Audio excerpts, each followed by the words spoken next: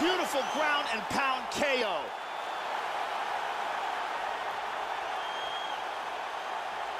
Joe, here's the finish on our fight replay. Let's take a look at the replay. This is the shot that drops him. Perfect technique. He's clearly in big, big trouble. Let's take a look at it one more time. Here's the knockdown. Vicious strike. Check it out here. Right on the button.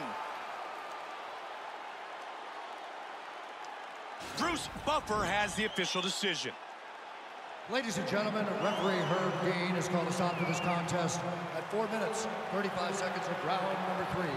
Declaring the winner by knockout. And now, this season's Ultimate Fighter lightweight winner, Comeback And there he is, this season's Ultimate Fighter.